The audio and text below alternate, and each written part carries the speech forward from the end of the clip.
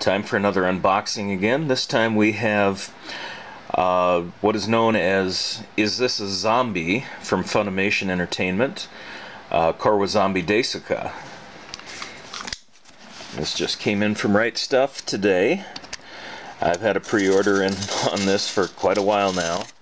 I think the original ship date was supposed to be sometime in September, but was delayed till December this came in this morning.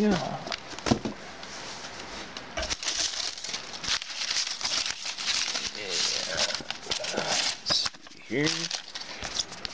Ooh, there's the free uh, sticker or cling. I don't remember. It came along with the pre-order.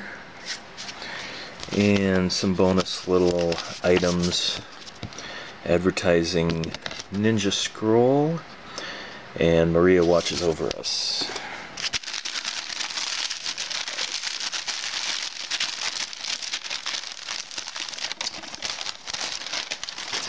And here is the box.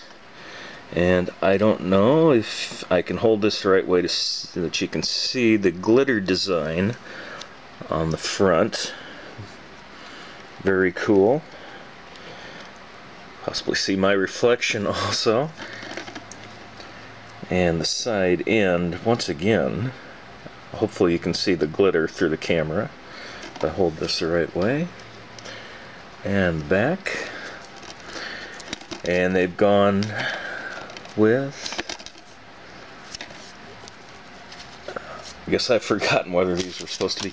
I, I've ordered this so long ago I forgot whether this was even DVD or Blu-ray or combo or exactly what. You will have to forgive me, I have not been awake all that long today. Normally on my Saturdays I like to sleep in. Go ahead and open this up. There we go. Alright, on the other side here, notice again the glitter artwork. It's very cool art box from Funimation this time. And look at our discs. Episodes 1 to 7.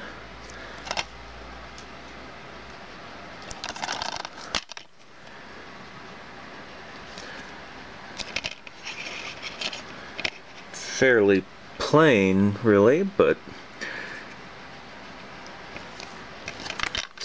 nice. Looks like they put all the money into the art box. Not a lot of fancy artwork on the cases. No special inserts.